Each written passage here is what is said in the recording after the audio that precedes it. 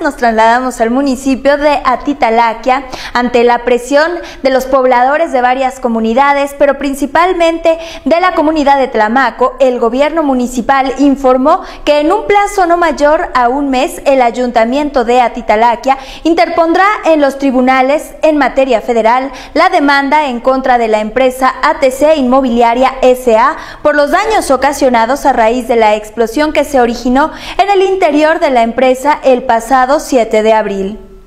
Eder Palafox Madero, director jurídico del gobierno local, señaló que para poder demandar a la productora de agroquímicos ubicada en el Parque Industrial de Atitalaquia por los estragos que ha venido ocasionando el siniestro, es necesaria la integración de un expediente que respalde el acto jurídico.